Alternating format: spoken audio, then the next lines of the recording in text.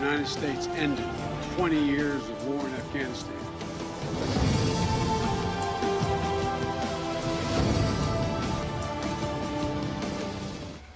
असलम आप देख रहे हैं प्रोग्राम जी फॉर गरीदा। मैं हूँ आपके साथ शुमाइला अरशद। नाजीन, प्रोग्राम में आज हम बात करेंगे अहम समात के हवाले से। आज सुप्रीम कोर्ट में प्रैक्टिस एंड प्रोसीजर 2023 के खिलाफ तीन मुख्तलिफ़ आइनी दरखास्तों के हवाले से समात हुई, जिसमें सुप्रीम कोर्ट ने फुल कोर्ट बनाने की इस्तः को मुस्तरद कर दिया और सियासी जमातों और वकला तंजीमों से आठ मई तक जवाब भी तलब कर लिया है।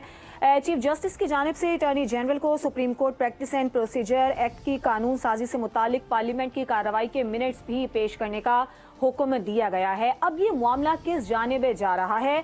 इस मामले पर हम अपने प्रोग्राम में नज़र डालेंगे। इसके अलावा जो सबसे अहम एक मुजाकरात का दौर चल रहा है और सबकी नज़रें उन मुजाकरात में हैं कि आया, ये मुजाकरात नतीजा खेज साबित होते हैं या नहीं होते हैं? आज ये मुजाकरात दिन ग्यारह बजे होने थे, लेकिन इसका वक्त तब्दील कर दिया गया। अरकीन थे उनकी कुछ मसरूफियात की वजह से। अब ये मुजाकरात आज रात नौ बजे होंगे।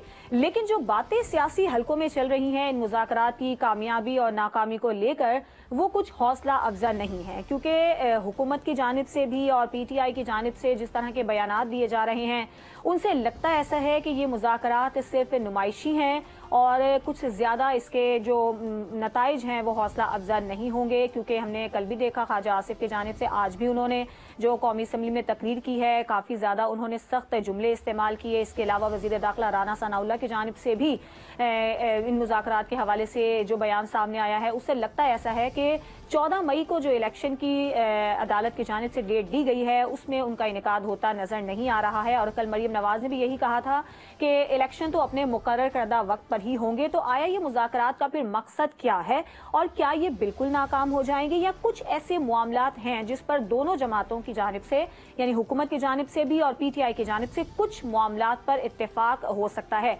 ये भी इल्ज़ाम लगाया जा रहा है हुकूमत की जानब से कि तहरीक इंसाफ की जानब से एनआरओ मांगा जा रहा है कि इमरान खान पर मुकदमात ख़त्म कर दिए जाएँ, कुछ और शराइ हैं। अगर ये शराइ मान ली जाती हैं तो वो कुछ जो मुतालबा उनका है इलेक्शन के हवाले से, उससे कुछ वो लचक उसमें दिखा सकते हैं। अपने मेहमानों से मैं आपका तारुफ करवा देती हूँ। राना एहसान अफजल साहब, नून लीग के रहनुमा, हमारे साथ मौजूद हैं। इसके अलावा आजिज धामरा पाकिस्तान पीपल्स पार्टी से हैं और कुछ ही देर में वासी कयूम अब्बासी साहब रहनुमा पीटीआई हमारे साथ मौजूद होंगे। सबसे पहले राना एहसान अफजल साहब आपसे मैं ये पूछना चाहूँगी, बड़ी अहम समात आज हुई और आपको क्या लगता है, supreme court practice and procedure bill का मामला अब किस जानब जाता हुआ नज़र आ रहा है? चीफ जस्टिस की जानब से जो रिमार्क्स दिए गए हैं, उस तनाजुर में आप क्या देख रहे हैं? देखिए, मैं समझता हूँ कि चीफ जस्टिस साहब जो रिमार्क्स उन्होंने दिए, वो खुद भी कॉन्ट्रडिक्टरी हैं। वो कहते हैं कि जमहूरियत अहम है तो ये जो बिल है, ये भी एक जमहूरियत का पहलू ही इंट्रोड्यूस कराना चाह रहा है। सुप्रीम कोर्ट के अंदर के फर्द वाहिद जो है, वो अपनी मर्ज़ी के बेंच तश्कील दे। उसके बजाय कंसेंसिस के साथ जो है, वो बेंच तश्कील दे दिए जाए। और जो सुओ मोटो का जो इख्तियार है, जो कि फर्द वाहिद इस्तेमाल करता है उसको भी कलेक्टिव विजडम के ज़रिए इस्तेमाल किया जाए। और फिर वो इंडिपेंडेंस ऑफ़ जुडिशरी की बात करते हैं। तो देखिए ये भी ये भी जो आ, कानून आ, जो इंट्रोड्यूस कराया गया है ये भी इंडिपेंडेंस ऑफ़ जुडिशरी को और मज़बूत करता है क्योंकि इससे जुडिशरी की साख बेहतर होती है। जब ट्रांसपेरेंसी जुडिशरी में आएगी तो उससे उसकी साख बेहतर होगी। दूसरा देखें ये मामला जो है इसको ये कहना या ऐसा तासर देना कि ये आइन के मुताबिक नहीं है ये जो बिल है या आइन से तसादम है, ये भी बड़ा हैरान कन है। क्योंकि देखें आर्टिकल 191 ये कहता है कि subject to law and constitution यानी कि कानून और आइन के मुताबिक सुप्रीम कोर्ट ने अपने प्रैक्टिस एंड प्रोसीजर जो है वो उनको सेट करना होता है। तो कानून जो है वो पार्लियामेंट बनाता है और पार्लियामेंट का बेसिक काम ही यही है कि वो कानून साजी करे और ये कानून साजी ही की गई। तो subject to law and condition इस कानून का जो है, वो वो ये लगता है, लागू होता है सुप्रीम कोर्ट पे। तो ये कहना कि ये आइन से तसादम है, मुझे ये मंतक समझ आई। और फिर देखें, सबसे बड़ी बात ये कि ये जो जो जो जो पावर्स हैं चीफ जस्टिस की, उन्हीं को ही, उन्हीं के मुतलक ये कानून है। तो उससे मुतलक जहाँ चीफ यही बात हो रही है कि वो बेंच कलेक्टिव विजडम से बने तो वो बेंच अपनी मर्ज़ी के बना रहे हैं। हम कह रहे हैं कि आप सात सीनियर जजेस का बेंच बना लें। हम कह रहे हैं, आप फुल कोर्ट जो है वो बिठा दें। तो उस मामले में उनका जो है वो इस चीज़ को रद्द करना और इस मामले को सुनना, ये कॉन्फ्लिक्ट ऑफ़ इंटरेस्ट ये भी बड़ी हैरान कन सी बात है। तो ये सारा जो मामला है, इसको प्रीएम्प्टिवली स्टे कर देना। तो ये यही शो करता है कि जो डिवाइड सुप्रीम कोर्ट में आज मौजूद है वो बड़ी सवेर है। देखिए, अगर चले, पार्लियामेंट आपको अच्छा नहीं लग रहा कि वो कानून साजी कर रहा है तो आप अपनी जो सुप्रीम कोर्ट के अंदर की आवाज़ें हैं, जिस तरह जस्टिस काजी फायज ईसा ने फैसला किया तीन मेंबर बेंच ने, कि आप 184.3 को अभी होल्ड कर लें, ताकि और बेंच के तश्कील के मामले को हम इंटरनली जब तक हम डिसाइड नहीं कर लेते तो इन मामला को अगर होल्ड कर लें तो वो आवाज़ भी जो अंदर से जुडिशरी की निकल रही है, सुप्रीम कोर्ट के अंदर की जो आवाज़ है, उसको भी आप रद्द कर देते हैं। और फिर जो मामला, यानी कि कानून साजी के थ्रू आपके पास आता है, उसको आप स्टे ऑर्डर उस पर कर लेते हैं फुल कोर्ट भी नहीं बैठाते, उस पर आप सात सीनियर जजेस का भी बेंच नहीं तश्कील देते। तो फिर ये मामला जो हैं, ये कैसे, यही तो मामला है। और उसी मामले पे हट दर्मी मैं समझता हूँ कि हो रही है, जो कि अच्छा नहीं है ये। देखें, पाकिस्तान की जो जुडिशरी है, उसको rule of law index 132 rank करती है 140 में से। तो बदतरीन परफॉर्मेंस है पाकिस्तान की जुडिशरी की दुनिया के अंदर दुनिया की रैंकिंग के मुताबिक। तो हम तो चाह रहे हैं कि इस कानून साजी से कोई बेहतरी है ठीक है आजिज धामरा साहब आपका क्या मौकफ है? आज की समात में चीफ जस्टिस साहब ने मुल्की सियासी सूरत हाल पर सख्त रिमार्क्स दिए हैं। आपको ये मामला किस तरह से हल होता हुआ नज़र आता है?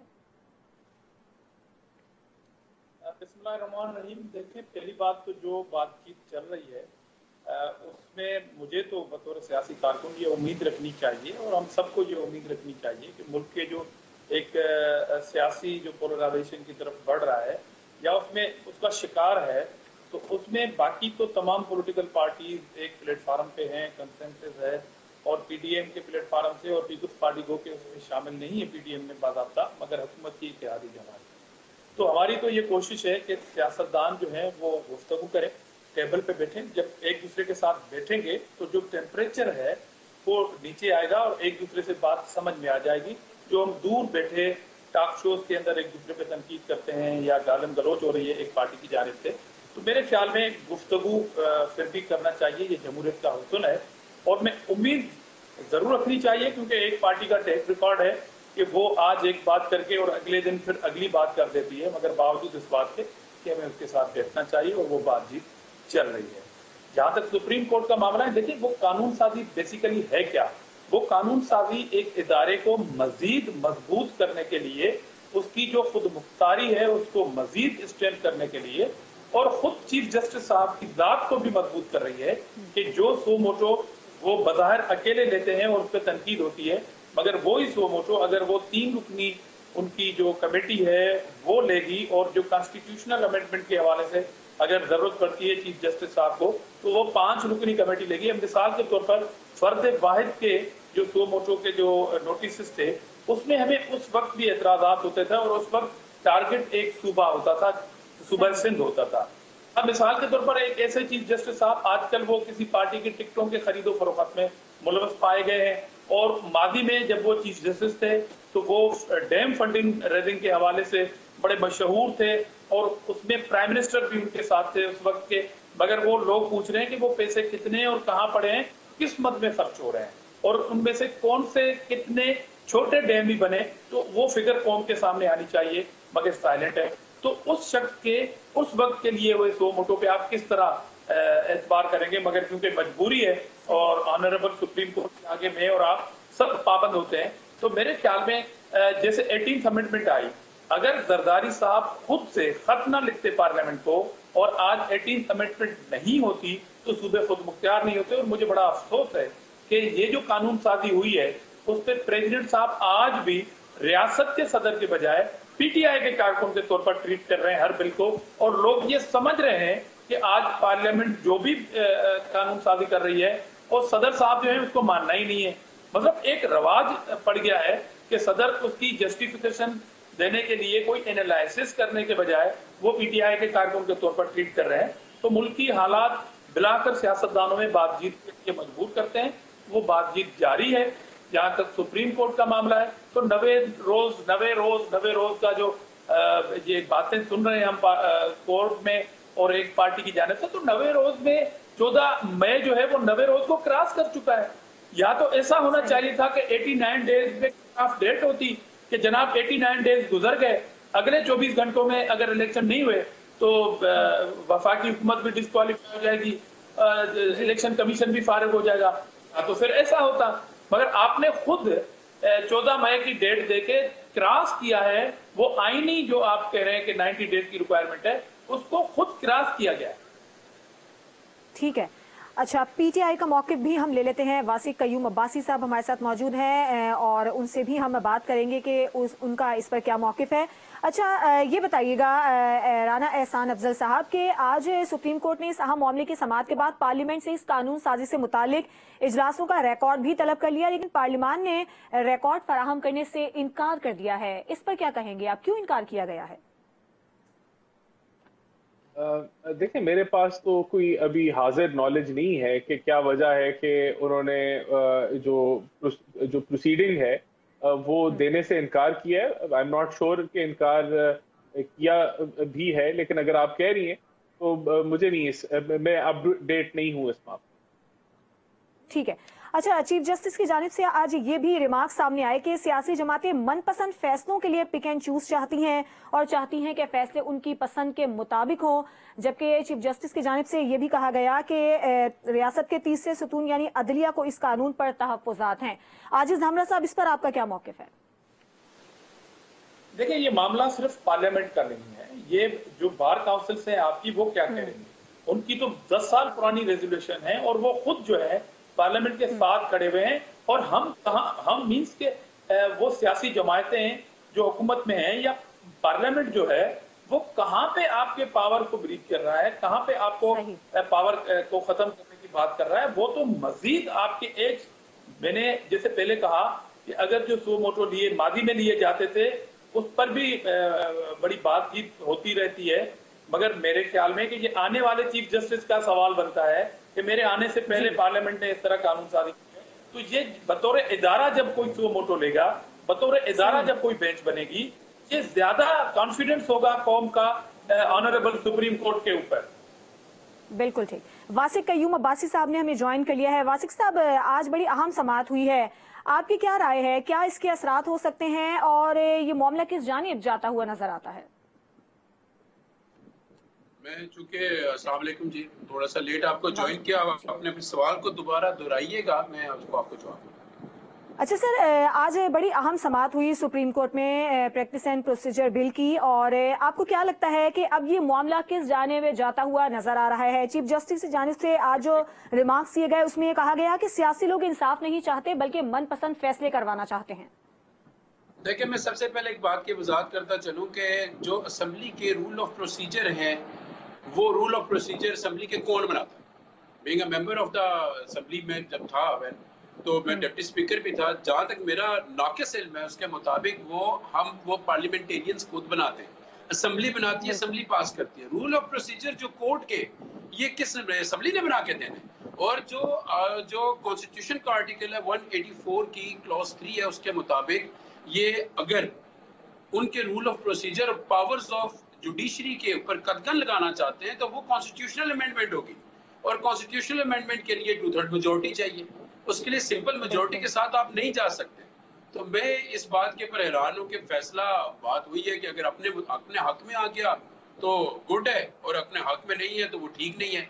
बड़े वाजे तौर पे कॉन्स्टिट्यूशन में लिखा हुआ था इलेक्शन का जहाँ से ये बात सारी शुरू हुई कि नब्बे दिन में इलेक्शन हो गए और पंजाब में वो डेट दे देनी है गवर्नर ने। और मैं हैरान हूँ आज तक कि वो आठ बना के उसका कोना तलाश कर रहे हैं कि आखिर कोना किधर है? ऐसे इसे, इसका हल नहीं निकल सकता इस तरह से। ठीक है, अब मुजाकरात की हम बात कर रहे हैं। ये तो एक अहम मामला जिस पर हमने डिस्कस कर लिया। समात आज अहम हुई। अब देखना होगा कि ये मामला किस जानब जाता है। लेकिन जो दूसरा अहम तरीन मामला चल रहा है, वो है हुकूमत और पीटीआई के दरमियान मुजाकर का आज दिन 11 बजे ये मीटिंग होनी थी लेकिन इसका वक्त तब्दील कर दिया गया है। रात नौ बजे ये फाइनल राउंड होने जा रहा है। ए, सबसे पहले हम मौकफ लेते ले लेते हैं नून लीग का राना एहसान अफजल साहब। बताइएगा जो आपकी जमात की जानब से रहनुमाओं के बयान आ रहे हैं वो काफ़ी तुंदो काफ़ी तुंदो तेज हैं और जारहाना भी हैं और उससे लगता नहीं है कि हुकूमत की कुछ मुजाकर की नीयत है या मुजाकर की कामयाबी के कोई इम्कान हैं? जब ऐसे बयान दिए जा रहे हैं तो फिर मुजाकर हम क्या समझें कि किस तरह के नतीजा इनका आएगा? मिनिस्टर शबाज शरीफ ने तो एक वक्त जो है, एक, उसको डेजिग्नेट करके मुजाकर शुरू कर दिए तो हुकूमत की विल जो है, वो इस अमल से शो होती है कि आपकी जो जो निगोसिएशन है, वो स्टार्ट हो। और उसके बैकिंग है प्राइम मिनिस्टर की और काबीना की तो वो मुजाकर हो रहे हैं और वो पार्लियामेंट के थ्रू हो रहे हैं यानी कि सेनेट के थ्रू हो रहे हैं अब देखें आपने बात की कि हम्म। लोगों की मुख्तलिफ़ राय तो मुख्तलिफ़ राय बिल्कुल एग्जिस्ट करती है और हमारी पार्टी में भी एग्जिस्ट करती है बहुत लोगों का ख्याल ये है कि जिस आदमी ने नफरत के बीज बोए जिसने आलमी साजिश का झूठा प्रोपोगंडा किया वो उसके साथ कैसे मुजाकर जिसने पेट्रोल बम पुलिस की रिट को चैलेंज किया जो सारे मामला आपने देखे जिस तरीके से इमरान खान की जो सियासत जिस तर्ज पे चल रही है तो उसके साथ मुजाकर नहीं होने चाहिए। ये पॉइंट ऑफ़ व्यू हमारी जमात में कुछ लोगों का एग्जिस्ट करता है और वो उसको बयान कर रहे हैं। लेकिन हुकूमत की विल जो है वो तो प्रैक्टिकली तौर पे नज़र आ रही है कि हुकूमत निगोशिएट करी और देखिए हमने क्या मुद्दा रखा है आगे। हमने इनके सामने ये मुद्दा रखा है कि आप जो है बजट के बाद जुलाई के अंदर पहले दूसरे हफ़्ते के अंदर हम असेंबलीज डिजॉल्व कर लेते हैं। और इलेक्शन जो है उसके मुताबिक सितंबर में हो जाएगा।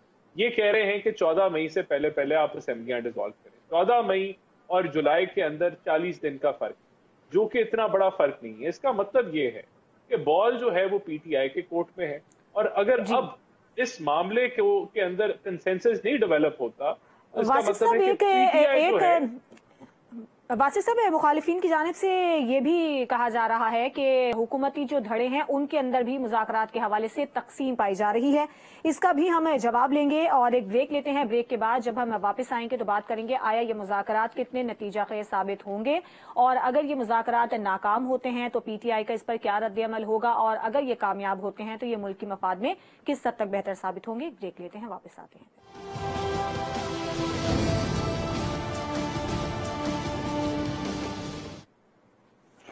वेलकम बैक मुजाकर पर जाने से पहले हम बात कर रहे थे मुजाकर की जो चैमागोइयाँ चल रही हैं मुजाकर की कामयाबी और नाकामी के हवाले से सियासी हलकों में जो बातचीत चल रही है, उसका आज फाइनल राउंड है। रात नौ बजे ये मीटिंग होने जा रही है हुकूमत की जानब से और तहरीक इंसाफ की जानब से अरकान बैठेंगे। कोई ना कोई हल निकालने की कोशिश की जाएगी।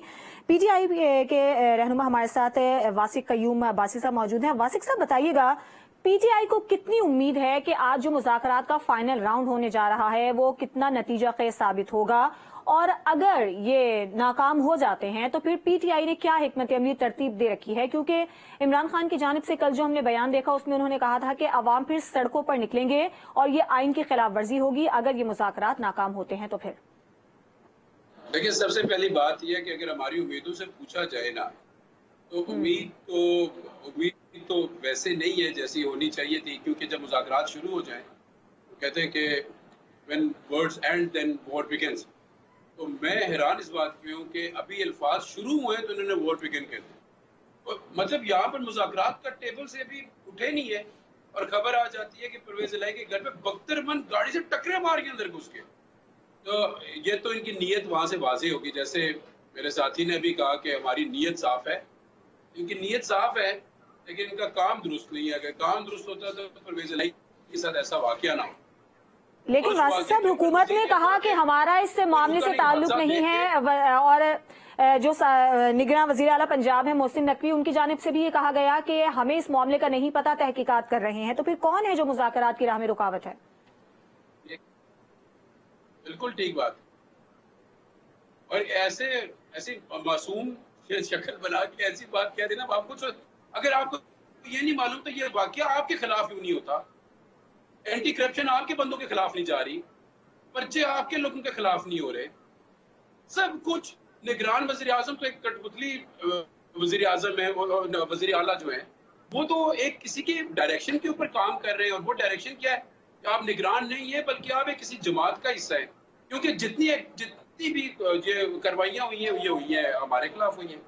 सो बाद में ये कह रहा था कि नीयत बिल्कुल साफ़ नहीं है, अगर होती भी तो इनको इनको एटलीस्ट अपने एक्शन के साथ शो करना चाहिए था। और सेकंड पार्ट जो आपने कहा कि आप क्या करें?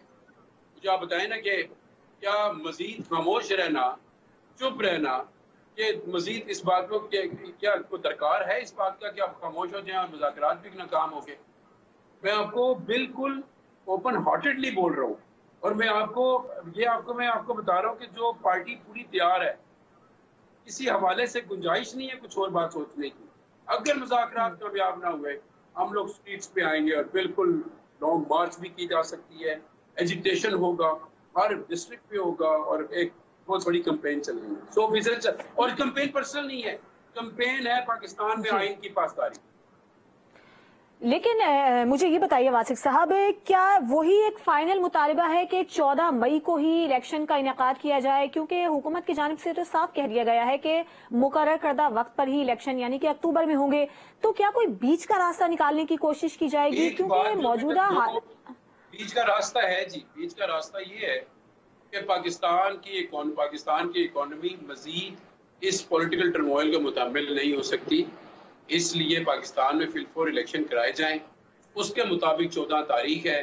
अगर आप समझते हैं कि इसके ऊपर बहुत खर्चा है और दोनों इलेक्शन इकट्ठे होने चाहिए तो हम हम्म। आपकी भी इस्ताइत कर देते कि दोनों इलेक्शन इकट्ठे हो जाए। अब आप अपनी जिद से उतर आए कि अपने वक्त के ऊपर होंगे। हम ये कहते हैं कि भाई बिल फोर होने चाहिए क्योंकि आपकी आप मतलब पहले फेलियर चल रहा है गवर्नेंस का। तो क्या मजीद फेलियर को हम लोग एंजॉय करें? इसलिए हम ये चाहते हैं कि एक एक बात दोनों की मानी जाए। अब तय ये होना है कि आखिर वो इलेक्शन कब होंगे? वो आज तय हो जाना है कि अगस्त है या ठीक है पीपल्स पार्टी का मौकफ ले लेते हैं। आजिज धामना साहब सबसे पहले तो ये बताइएगा कि आपको क्या लगता है चौदह मई को आखिर क्या इलेक्शन हो सकते हैं? जो सूरत हाल जमीनी हकायक हमारे सामने है और दूसरा जो पीटीआई का मुतालबा है कि 14 मई को ही इलेक्शन का इनका किया जाए। आपको क्या लगता है कि मुनासिब वक्त कौन सा है और मुनासिब जो सूरत हाल है वो कैसे डेवलप की जा सकती है? देखिए, मैं आपके सवाल का जवाब देता हूँ, मगर मेरे कहने का मकसद सिर्फ़ ये है कि अभी भी जो पीटीआई के दोस्त ने बात की है, जब बातचीत होती है और दोस्त टेबल पे बैठ जाते हैं तो उम्मीद ज़रूर रखनी चाहिए। जब आपको इतना कॉन्फिडेंस नहीं है नतज पे तो फिर आप बातचीत पे आमादा कैसे हैं? नंबर वन जारी आपको कोई उम्मीद है इसलिए आप बातचीत में बैठे मैंने अपनी गुफ्तु की इब्तदा में ये बात कही थी कि बिलाखिर इस तमाम बुरान का हल सियासत दानों ने निकालना है। बाकी किसी के डंडे के दौर पर जो है आप किसी को बाउंड नहीं कर सकते कि जी बात भी करनी है और फैसला मेरा यही मेरे फेवर में आना है। तो छोड़े जो टीम हमारी बात कर रही है हमें उम्मीद रखनी चाहिए। और जहाँ तक अभी बात की थी कि परवेज इलाही साहब के घर पर जो बख्तरबंद गाड़ियों से हमला हुआ या वाट जो भी हुआ आ, मेरे ख्याल में कि एक वो मुतहरिक जमायत जो कहती है कि हमारे कारकुन बड़े चार्ज हैं और पंजाब तो पूरा या लाहौर तो पूरा उनके अंडर में है हर घर में उनके कारकुन बसते हैं। तो उनके सूबाई सदर के घर के ऊपर जब ये कार्रवाई हो रही थी तो बतौर पॉलिटिकल पार्टी पीटीआई का एक वर्कर और एक झंडा भी नज़र नहीं आया। आपने अपने सदर के साथ इतनी लातालकी इख्तियार की भी थी। इतनी बड़ी ज्यादती आपने बर्दाश्त कर ली अपने सदर के साथ। फिर टाक शो में आके उनसे हमदर्दी करना, मेरे ख्याल में ये पॉलिटिकल पॉइंट स्कोरिंग है। और जहाँ तक आपके सवाल का ताल्लुक है कि मेरे ख्याल में बतौर पॉलिटिकल वर्कर चौदह मई को इलेक्शन मुमकिन है ही नहीं। चौदह मई को इलेक्शन नहीं हो सकता। ठीक है। राना, एहसान अफजल साहब, आपका भी यही कहना है कि 14 मई को तो इलेक्शन का इनका मुमकिन नहीं है, लेकिन पीटीआई की जानब से ये कहा जाता है कि फिर गारंटी क्या है कि अक्टूबर में हालात ठीक हो जाएँगे? हुकूमत की जानब से जो कहा जा रहा है कि दहशतगर्दी के खतरात हैं, इसके अलावा कुछ फंड्स के भी मसाइल का ज़िक्र किया जाता रहा है। तो क्या गारंटी है कि अक्टूबर में हालात बेहतर होंगे? और आपको क्या लगता है कि इस मसले का क्या मुमकिन हल होना चाहिए? देखिए मुमकिन हल तो हमने इनको पेश किया है। हमने कहा है कि आप जुलाई में जो है बजट के बाद हम असेंबलीज डिजोल्व कर लेते हैं और फिर जो है इलेक्शन सितंबर में हो जाए। यही हमने ऑप्शन इनको दिए जो हमें लगता है कि बेहतर ऑप्शन है।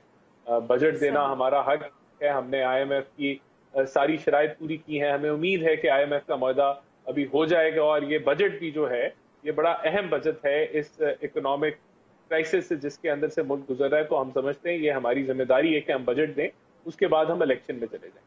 तो ये इस चीज़ को आ, मान मैं समझता हूँ ना मानना और ये एक्सपेक्टेशन रखना कि आप मई के अंदर जो है आप बलूचिस्तान की असेंबली भी डिजोल्व कर लें आप सिंध की असम्बली भी डिजोल्व कर लें और वफाकी असम्बली भी डिजोल्व कर लें सिर्फ़ इसलिए कि इनको मुशावरत जो है वो जनरल बाजवा के साथ इन्होंने की और फिर उसके मुताबिक इन्होंने असम्बलियाँ डिजोल्व कर ली, क्योंकि इनको लगता था यही रास्ता है इलेक्शन लेने का। तो ये तो कोई इनके मनमानी फैसले तो नहीं होने। और देखें, बात ये जहाँ नब्बे दिन के आइन की बात करती है, हमें भूलना नहीं चाहिए कि आइन आपको जो है, वो सिर्फ़ सियासतदानों पर नाफिज नहीं होता, वो सुप्रीम कोर्ट पे भी नाफिज होता है।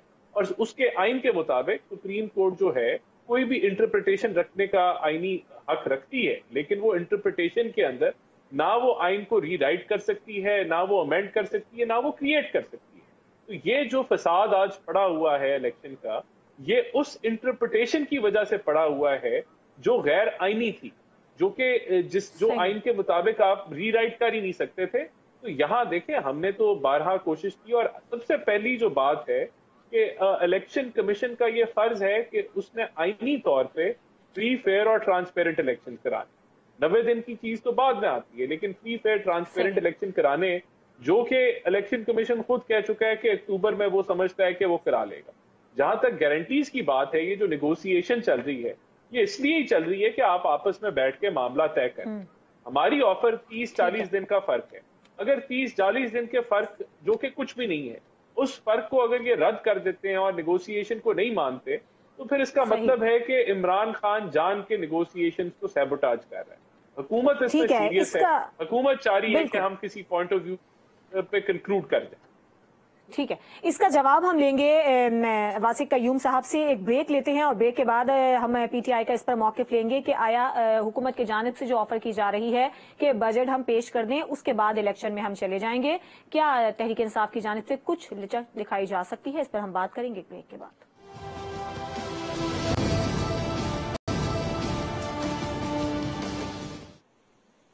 वेलकम बैक ब्रेक पे जाने से पहले हम बात कर रहे थे हुकूमत और पीटीआई के दरमियान जो मुजाकर होने वाले हैं, आखिर वो कितने नतीजा खेज साबित होंगे और उनके क्या असरात होंगे, कामयाब होंगे या नहीं होंगे, यही वो बातें हैं जो कि सियासी हलकों में चल रही हैं। आज पीटीआई की जानब से वज़ीर आज़म शहबाज शरीफ पर यह इल्ज़ाम लगाया गया है कि मुजाकर को सुबताश करने की कोशिश उनकी जानब से की जा रही है। आया ये इल्ज़ाम किस तनाजुर में लगाया गया है, इस पर हम बात करते हैं। वासिक कयूम साहब से। वासिक साहब अभी ब्रेक पर जाने से पहले जो हम बात कर रहे थे हुकूमत का ये कहना है कि हम बजट पेश कर दें उसके बाद हम इलेक्शन की तरफ़ चले जाएँगे। यकीनन दो कदम आपको पीछे हटना पड़ेगा दो कदम हुकूमत को पीछे हटना पड़ेगा। उसी सूरत में कुछ इसका हल निकल सकता है। तो क्या किसी किस्म की लचक का मुजाहरा नहीं किया जा सकता पीटीआई की जानब से? आप उसी मुतालबे पर हैं कि चौदह मई को ही इलेक्शन हो? अगर लचक की बात तो होती तो शायद आज जो टेबल टॉक हो रही है ये ना होती। हम ये समझते हैं कि जो गवर्नमेंट पूरा एक साल इकोनॉमी में हर दिन और हफ़्ते के एतबार से महँगाई करती रही। और जब इकोनॉमी नहीं संभाली की तो उनका वोट बैंक टूट गया, आवाम का अतमाद टूट गया, जो सबका बाई इलेक्शन ने ये शो कर दिया। क्या दो महीने में अलादीन का चिराग रगड़ने से ये गवर्नमेंट को दोबारा वोट बैंक मिल जाएगा और इनको इलेक्शन मिल जाएगा? आज इलेक्शन डिले करने का मतलब ये है कि उनके पास वोटर नहीं है इंटैक्ट नहीं है पब्लिक का उन पर पब्लिक ओपिनियन उनके हक में नहीं है। तो क्या आप जो कह रही हैं कि ये अगर गवर्नमेंट कह रही है कि सितंबर में या अक्टूबर में हमें इलेक्शन करा देंगे ये तो ऐसे आँखों में धूल झोलने वाली बात है। ये इसको मजीद लिंगर करेंगे ये किसी सूरत इसमें भी इलेक्शन नहीं करवाना चाहते। सो आई फील कि गवर्नमेंट को ये बात रियलाइज़ करनी होगी कि पीटीआई स्पीड पावर रखती है। और इस टाइम पाकिस्तान की सबसे मकबूल जमात है। अगर ये इन मुजात को अपनी छोटी पर्सनलाइजेशन पे नहीं इसको कामयाब करेंगे। मेरे नज़दीक पाकिस्तान एक बड़े नुकसान में जाएगा, इसकी जिम्मेदार पीडीएम होगी और अल्लाह ना करेंगे। ठीक है। अच्छा आजिज धमरा साहब, एक आज अहम मुलाकात भी हुई है। सबक सदर आसिफ अली जरदारी की मौलाना फजल रहमान से। मौलाना फजल रहमान जो कि इन मुजाकर के हक में किसी तरह भी नहीं है। तो हमें जरा बताइएगा, इस मुलाकात का क्या मकसद था? क्या मौलाना फजल रहमान को मनाने की कोशिश की गई है कि वो मुजाकर पर राज़ी हो जाए? मैं आता हूँ आपके सवाल के जवाब में, मगर मेरे ख्याल में बड़ी बदकिस्मती है कि हम इलेक्शन को इतना सर पे ले लिया है पीटीआई ने। क्योंकि नेशनल असेंबली की इलेक्शन जो है, वो ड्यू टाइमिंग के अंदर होगी। उसमें हम ये नहीं कह रहे कि हम एक हफ़्ता भी आगे एक्सटेंशन देंगे असेंबली को कौमी असेंबली को। अब मिसाल के तौर पर मेरे भाई कह रहे हैं कि क्या अलादीन का चिराग है कि दो महीने के अंदर मुल्क के हालात ठीक हो जाएँगे? मेरे भाई, आपने जो हालात खराब करके गए हैं और जिस तरह बारूदी सरंगे बिछाई जाती हैं, आपने जो मुआशी सरंगे बिछाई हैं इस मुल्क में, उसको ठीक करने के लिए मजीद कई साल चाहिए इस मुल्क को। मगर इशू सिर्फ़ ये है कि जो आईएमएफ से मुहिदा है, जो बजट आनी है, उसमें रिफॉर्म्स लाने की ज़रूरत है। अगर हम इलेक्शन में चले गए तो बजट आपका वहीं का वहीं रह जाएगा। एक गवर्नमेंट है इलेक्टेड गवर्नमेंट है, काबीना है, उसको बजट पेश करना है। इसमें आपको जल्दी क्या पड़ी है इतनी? और मेरे ख्याल में आपका ताल्लुक इसलिए भी नहीं बनता इन तमाम मुआशी सूरत हाल से, क्योंकि इससे पहले जब आईएमएफ से मुआदा हो रहा था तो आपने अपने दो वज़ीर खजाना सूबाई वज़ीर खजाना पंजाब और के के से खत लिखवाया था आईएमएफ को कि आप ये जो माहे कर रहे हैं उसकी गारंटी बतौर दो फेडरेटरी यूनिट हम नहीं दे रहे हैं। मेरे ख्याल में वो खिलवाड़ था पाकिस्तान के मुस्तकबिल से पाकिस्तान की मीशत से। तो एक सवाल साल के अंदर कोई अल्लादीन का चिराग आ जाएगा और जहाँ तक आपके सवाल है कि जरदारी साहब ने मौलाना साहब से हमारी ही ये जरदारी साहब की ही तजवीज थी और आज भी हम यही कह रहे हैं कि जो नेगोशिएशन चल रही हैं ये वन साइडेड नहीं है। ये पीटीआई अगर इतना एतमाद अदम एतमाद कर रही है तो फिर उस कमेटी का जो बातचीत की कमेटी है उसमें उसका हिस्सा क्यों है? मेरे ख्याल में कि हम पूरी कोशिश कर रहे हैं और पीपुल्स पार्टी पूरी कोशिश कर रही है कि ये मुजाकर जो है वो कामयाब होने चाहिए और मौलाना फजल रहमान का मुजाकर के खिलाफ है मगर हम पूरी कोशिश कर रहे हैं कि उनको भी मुजाकर पे राज़ी करें। नतीजे जो भी निकले वो अनाउंस होंगे वो अलग बात है। हम ये नहीं कि नतीजा हमारे फेवर में होगा या पीटीआई के फेवर में होगा। बातचीत के अमल में हमें शरीक होना चाहिए बतौर सियासतदार। मैं आपकी से एक बात पूछना चाहता हूँ सिर्फ़ एक बात। एक बात ये पूछना चाहता हूँ इतनी लंबी चौड़ी तवीद आपने बाँध दी हमने डुबो दिया था आपने संभाल दिया आपने आईएमएफ को मना दिया यहाँ पर मतलब पाकिस्तान को बचा दिया। सुन तो लेना सवाल तो सुन ले। आज साहब ये सारे काम कर दिए हैं तो यार तो पब्लिक में क्यों नहीं मैं आपके पब्लिक सवाल सुनूँगा। और कमरे में बैठ के लैंग्वेज कर रहे हैं बहुत अच्छे। आप कौन ठीक करे। मेरी गुफ्तगु जो थी वो बिल्कुल आज जाना थी और मैं बातचीत की हिमायत में हूँ। मगर आप ये बताए ना कौन को कि आपके वज़ीर खजाना ने खत नहीं लिखा था? दो सूबाई वज़ीर खजाना ने। क्या पाकिस्तान का आपसे पूछा कुछ हो रहा है कि आप आप कह रहे हैं कि आप लोगों ने काम किया बहुत काम किया आपने आईएमएफ को मना लिया मीशत को बेहतर किया हमने सुरंगे बचाई थी। भाई आजकल बड़ा एडवांस दौर है। अभी अभी आप और मैं बात सोचते हैं ना तो ये सोशल मीडिया के ऊपर आके ना लोग उसके ऊपर ग्राफिक्स लगा के चढ़ा देते हैं। अगर इतनी आपने डिपेंड तो फिर आपको तो उस पर बहस की नहीं जा सकती। मगर मैं कह रहा हूँ कि आपके वज़ीर खजाना ने क्यों नहीं जा रहे? मैं तुझे पूछना चाह रहा हूँ। आपके दो भाई वज़ीर खजाना ने खत नहीं लिखा था ये मेरे को? कि आप गारंटर नहीं बनेंगे? क्या आप फेडरेटिव नहीं थे उसको क्या मेरा खर्च पसंद ना आपका खर्च पसंद। मेरा सवाल कुछ और था आप कहीं और चले गए। मैं आपसे बहस नहीं करना चाह रहा था मैं आपको एक बात पूछना चाह रहा था। करना चाह रहा अगर मैं गलत क्या नहीं कर रहा हूँ तो आप कह दें कि जनाब आप झूठ बोल रहे हैं टीवी पे बैठ गए कि आपके दो वज़ीर खजानाओं ने खत नहीं लिखा था। भाई सर वो किसने मुल्क डबोया ये एक अलग टॉपिक है लेकिन इसको निकालना कैसे है मुश्किल से? ये बड़ा बातचीत बातचीत से बातचीत से निकलेगा तहमुल से निकलेगा और इसके लिए हम बैठे हैं हमें नीयत ठीक रखनी चाहिए। और गो के हमारे अंदर भी ये मुखालफतें हैं हुकूमत के कि बातचीत नहीं की जाए मगर उसके बावजूद पीपुल्स पार्टी कह रही है कि बातचीत करनी चाहिए और ये पीटीआई भी उस बातचीत का हिस्सा है इसलिए हमें बातचीत पे शको शुबात नहीं करना चाहिए। अब तो बिल्कुल। बातचीत तो बहुत ज़रूरी है और हाँ इल्ज़ाम का सिलसिला तो खैर यूँ ही चलता रहता है लेकिन मुजाकरात की कामयाबी की हम यकीन उम्मीद रखते हैं। राना एहसान साहब, आप बताइएगा क्या अब ये भी इतलात आ रही हैं कि जो हुकूमती हल्के हैं, मुजाकरात को लेकर उनमें भी कुछ तकसीम पाई जा रही है? कुछ लोग चाहते हैं कि मुजाकरात हो और कुछ चाहते हैं कि ना हो। इस हवाले से थोड़ा सा हमें बताइएगा। देखिए, बिल्कुल जमात जे यू आई एफ़ का ये पॉइंट ऑफ़ व्यू था कि इनके साथ मुजाकर नहीं होने चाहिए। मौलाना साहब ने अपना पॉइंट ऑफ़ व्यू बड़ा बरमला एक्सप्लेन किया, उसकी वजूहत भी एक्सप्लेन की।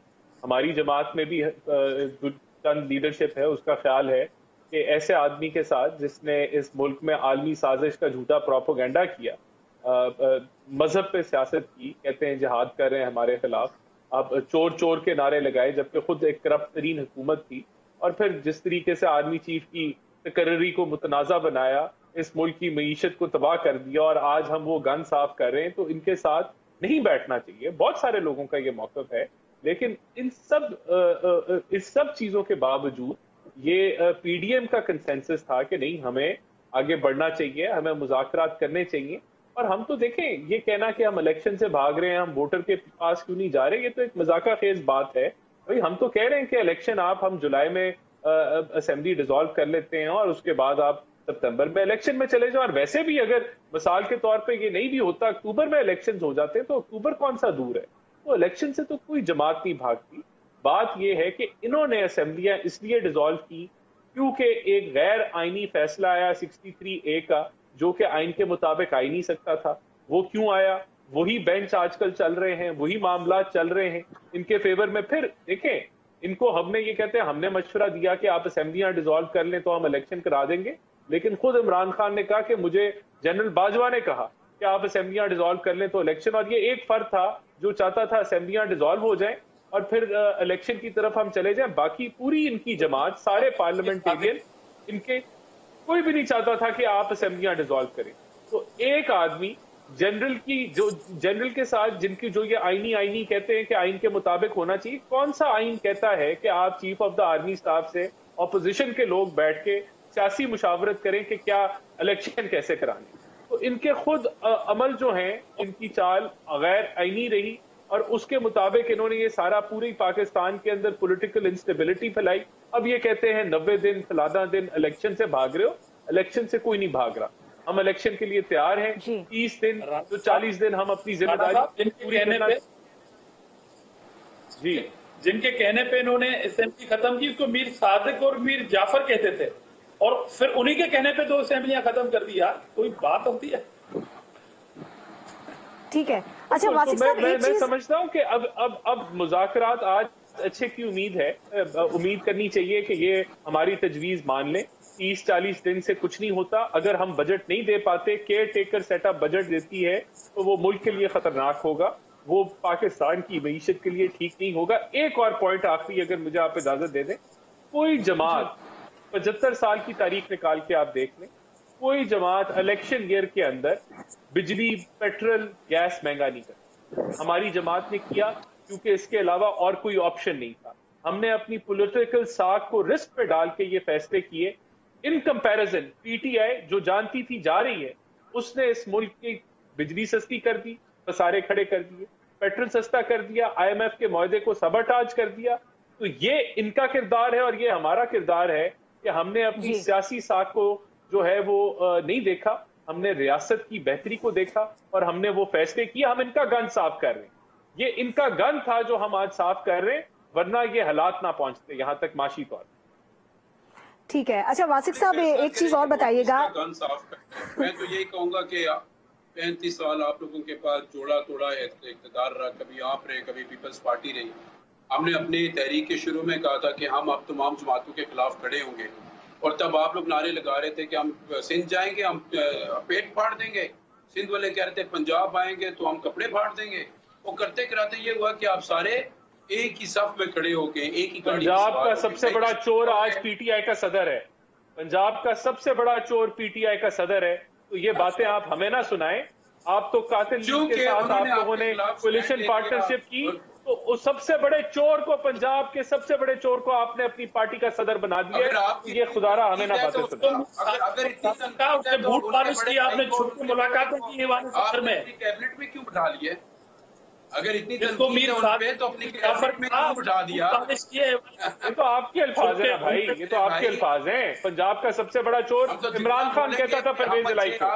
उसको आपने सदर बना दिया पीटीआई का इसका मतलब सबसे बड़ी चोर पार्टी पीटीआई बन गई है। दूध का दूध पानी का पानी हो जाएगा। अगर आज हमारा फैसला हो जाता है खैर के साथ इलेक्शन का तो ज़्यादा दूर नहीं है। दो महीने की बात सिंध भी पंजाब पहले हो चुके हैं।